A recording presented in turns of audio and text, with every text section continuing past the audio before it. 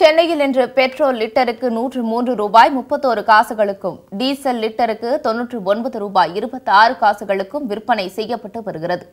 நேற்று சென்னையில் petrol litre நூற்று மூ- நூற்று மூன்று ரூபாய் ஒரு காசுகளுக்கும் டீசல் லிட்டர் தொன்னூற்று எட்டு ரூபாய் தொன்னூற்று இரண்டு காசுகளுக்கும் விற்பனையானது. இந்நிலையில் இன்று பெட்ரோல் விலையில் லிட்டருக்கு முப்பது பைசா அதிகரித்துள்ளது.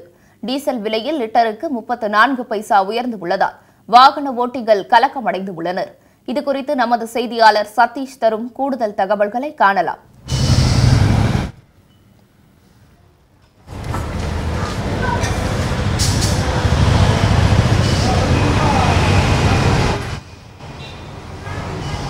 ஆஹ் நிச்சயமா. ஆஹ் குறிப்பாக தமிழகத்தில் தொடர்ந்து உயர்ந்து வரக்கூடிய இந்த பெட்ரோல் டீசல் விலையானது பொதுமக்களுக்கு ஒரு மிகப்பெரிய சுமையை ஏற்படுத்தியிருக்கக்கூடிய நிலையில் இன்று இரண்டாவது நாளான இன்றும் வந்து பெட்ரோலின் விலையானது நூற்றி மூன்று ரூபாயை கடந்து விற்பனை செய்யப்படுகிறது.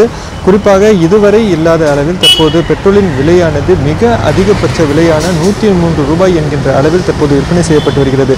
நேற்று அதன் விலையானது நூற்றி மூன்று ரூபாய் எட்டிய நிலையில் நேற்று நூற்றி மூன்று ரூபாய் ஒரு காசாக விற்பனை செய்யப்பட்டு வந்தது.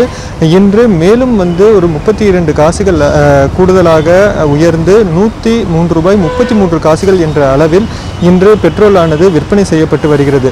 அது மட்டுமல்லாமல் டீசலின் விலையும் வந்து கணிசமாக உயர்ந்திருக்கிறது. நேற்று தொண்ணூற்றி எட்டு ரூபாய் என்கின்ற அளவில் விற்பனை செய்யப்பட்ட விலையானது தற்போது தொண்ணூற்றி ஒன்பது ரூபாய் இருபத்தி ஆறு காசுகள். நேற்றை ஒப்பிடுகையில் இன்று முப்பத்தி நான்கு காசுகள் உயர்ந்து தொண்ணூற்றி ஒன்பது ரூபாய் இருபத்தி நான்கு காசுகள் என்கின்ற அளவில் இன்று விற்பனை செய்யப்படுகிறது. குறிப்பாக பெட்ரோல் டீசல் விலையை பார்த்தோம்னா பெட்ரோல் விலையை ஒப்பிடுகையில் டீசலின் விலையானது குறைவாக இருக்கும். ஆனால் இன்றைய தினம் பார்த்தோம்னா ஏறக்குறைய பெட்ரோலின் டீசலின் விலையும் வந்து ஏறக்குறைய ஒரே அளவை வந்து எட்டியிருக்கிறது. மேலும் வந்து விரைவில் டீசலின் விலையும் வந்து இன்னும் ஓரிரு நாட்களுக்குள் நூறு ரூபாயை எட்டக்கூடிய அளவில் டீசலின் விலையும் வந்து கணிசமாக உயர்ந்து வருவது.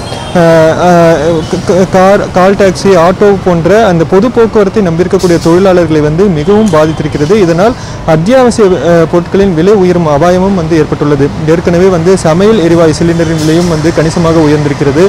இது போன்ற சூழ்நிலையில் நாளுக்கு நாள் தற்போது இந்த பெட்ரோல் டீசல் விலையும் உயர்ந்து வருவது பொதுமக்களுக்கு மிகப்பெரிய அச்சுறுத்தலை வந்து ஏற்படுத்தியிருக்கிறது. ஏற்கனவே இதன் விலையானது நூற்றி இரண்டு ரூபாய் எட்டிய நிலையில் தமிழக அரசு அதன் விலையில் நான்கு ரூபாயை குறைத்தது. பின்னர் வந்து தொண்ணூற்றி எட்டு ரூபாய் என்கின்ற அளவில் விற்பனை செய்யப்பட்டது. தற்போது மீண்டும் பெட்ரோலின் விலையானது படிப்படியாக உயர்ந்து இன்று மிக அதிகபட்சமாக நூற்றி மூன்று ரூபாய் முப்பத்தி மூன்று காசுகள் என்கின்ற விலையில் வந்து விற்பனை செய்யப்படுகிறது. குறிப்பாக இந்த விலையினால் வந்து பொதுமக்கள் கடும் பாதிப்புகளுக்கு ஆளாகியிருக்கிறார்கள். அஹ், இதனை நம்பியிருக்கக்கூடிய தொழிலாளர்கள் வாகன ஓட்டிகள் மேலும் வந்து இதன் காரணமாக அத்தியாவசிய பொருட்களின் விலையும் உயரக்கூடிய ஒரு அபாயம் ஏற்பட்டுள்ளது. எனவே இந்த விலையை கட்டுப்படுத்துவதற்கு மத்திய மாநில அரசுகள் நடவடிக்கை எடுக்க வேண்டும் என பொதுமக்கள் தரப்பில் வந்து வேண்டுகோள் விடுக்கப்பட்டுள்ளது. சில ஆண்டுகளுக்கு முன்பு பெட்ரோலின் விலையில் வந்து சிறிது ஏற்றம் இருந்தால் ஒரு சில நாட்கள் வந்து அந்த பெட்ரோலின் விலையானது குறைவதற்கு வாய்ப்பு இருக்கும். ஆனால் தற்போது கடந்த சில மாதங்களாக இந்த பெட்ரோலின் விலையானது தொடர்ந்து ஏறுமுகத்தையே சந்தித்து வருகிறது. தொடர்ந்து ஒவ்வொரு நாளும் முப்பது காசுகள் இருபது காசுகள் என உயர்ந்து தற்பொழுது நூற்றி மூன்று ரூபாய் முப்பத்தி மூன்று காசுகள் என்கின்ற அளவில் ஒரு இமாலய அளவில் இந்த பெட்ரோலானது விற்பனை செய்யப்படுகிறது.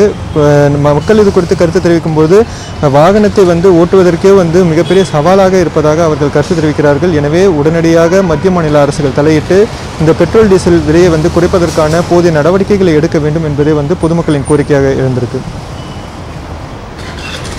ಸೇಬವನ್ನು ತಗೋಬೇಕಂತ ನಡ್ರಿ ಸತೀಶ್